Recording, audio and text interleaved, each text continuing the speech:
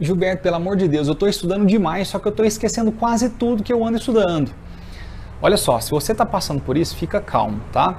É, acontece muito que a gente esquece aquilo que a gente estuda por dois motivos. Ou você não está revisando periodicamente essa matéria, então é super natural você esquecer. Você que não revisa as matérias, você não vai lembrar delas a longo prazo, só a curto prazo. Ou você está com um probleminha que eu também vivi demais na minha época que eu estudava muito, que é falta de sono. Isso mesmo. Uh, basicamente você não está dormindo direito à noite. É, existe uma grande guerra, né, quando a gente faz, principalmente terceiro ano ou cursinho, que é entre a quantidade de coisas que a gente tem que estudar e o tempo disponível que a gente tem. Eu lembro quando eu fazia terceiro ano, isso saía demais da minha boca, assim, ó. Nossa, como o meu dia poderia ter 36 horas, seria muito melhor para dar conta de fazer tudo que eu tenho que fazer, só que infelizmente não tem. E basicamente, como é que a gente quer compensar isso? A gente fica sem dormir, né? Então, basicamente, a gente começa a, comer, é, a tomar café, né?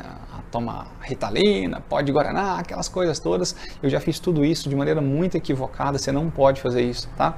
Por quê? Porque quando a gente toma estimulantes do sistema nervoso central, eles sim tiram o nosso sono. Só que o sono é fundamental para o seu processo de aprendizado.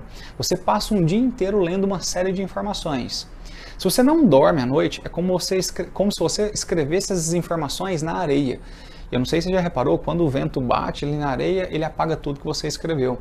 Mas se você tem uma noite de sono tranquila, natural ali, 7, 8 horas, enfim, de sono por noite, é como se você escrevesse no cimento fresco, tá? E quando você acordasse ali, ia estar aquele cimento bem sólido, com todas as informações bem sólidas no seu cérebro.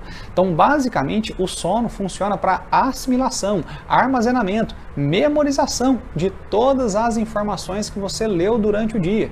Se você não dorme, chances são que você está esquecendo muita coisa que você está estudando. Então a dica que eu te dou hoje é: não tome café exageradamente. Tenha noites de sono normais, assim como qualquer pessoa, Gilberto, mas eu não sou qualquer pessoa, sou um estudante de cursinho.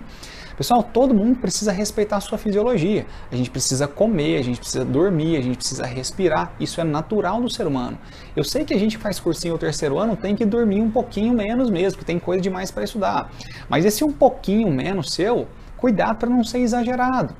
Caso contrário, você jamais vai conseguir memorizar aquilo que você está estudando. Não esquece disso.